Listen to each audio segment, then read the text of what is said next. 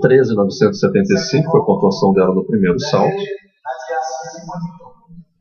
Vai para o seu segundo e último salto sobre a mesa.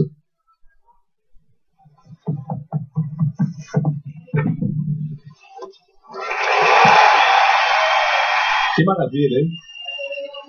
Na expressão no rosto, no sorriso da Daniela Hipólito, dá para você perceber e a André vai poder dizer para a gente com muito mais clareza como foi esse salto, André. Excelente. Daniela entra de meia volta para o cavalo, faz um mortal na saída com meia volta também. É um salto que tem um valor de dificuldade alto.